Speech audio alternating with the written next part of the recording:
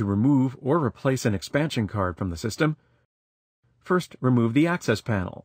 Next, remove the expansion slot lock on the left side of the expansion card ports. To do so, detach the screws securing the lock to the rear of the PC. Pull the slot lock off the unit. Before removing any expansion card, detach any connectors that run to other system components from the card. Pull on the edges of the expansion card to release it from the expansion slot. To replace an expansion card, Carefully seat the card into the slot until it's secure.